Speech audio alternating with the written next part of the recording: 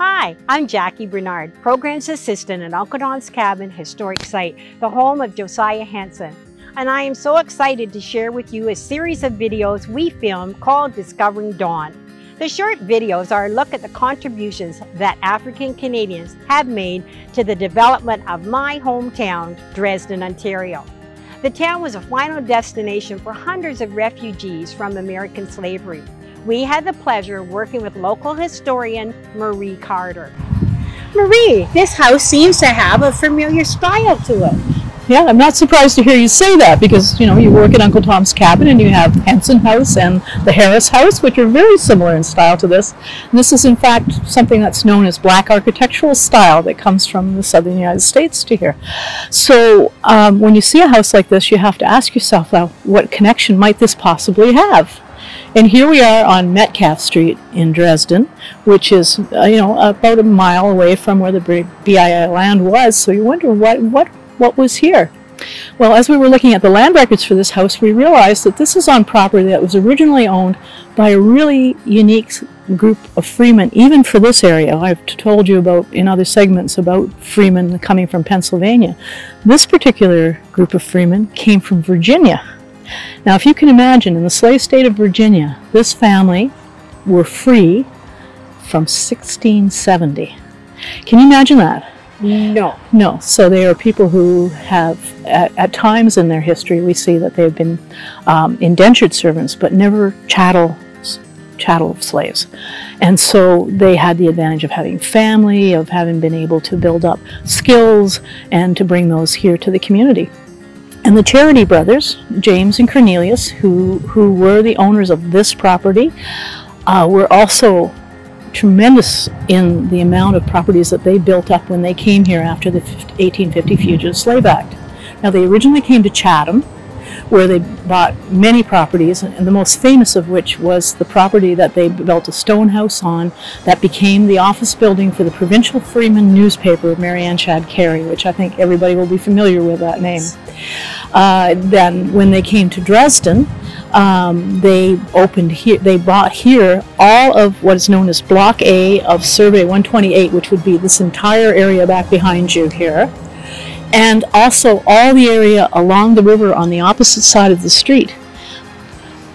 And what they did here was that um, James and Cornelius bought some properties together, some separately.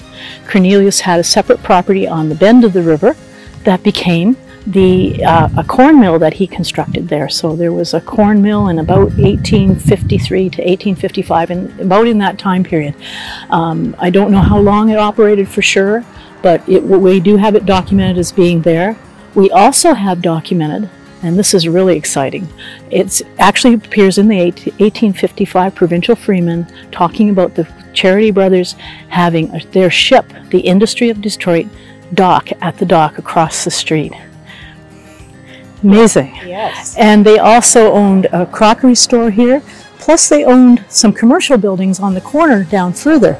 And this is also of interest to you at Uncle Tom's Cabin because in the cemetery at Uncle Tom's Cabin there is a Burkett stone. Yes. And James Burkett, who is buried in the British American Institute Cemetery, is actually the owner of uh, a grocery store on the corner here, which was later taken over by two Burkett sisters.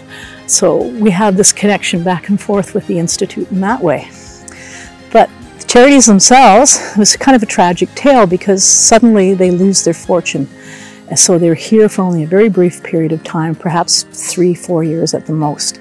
And when they go bankrupt, all these properties are sold off. But interestingly enough, this house was bought by a member of parliament called Archie McKellar. And Archie McKellar's story intersects with that of Black history quite a bit, especially here at Dresden, but also at Buxton.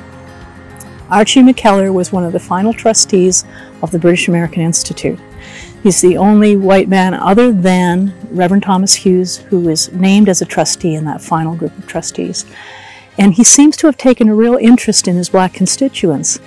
And so it's, in a way, not surprising to see him buy a building that could quite possibly have been a rooming house that would be an important piece of infrastructure that the black community would have relied on for new arrivals coming in. So that's our best guess of what this property might have been used for. It's also curious that McKellar bought it with two other people, and they're both from Detroit, Michigan. We haven't tracked the, the, those, those two individuals yet to know exactly who they are, but I'm sure there's more exciting things to find out about this house and about the whole history of the Charritys and McKellar here.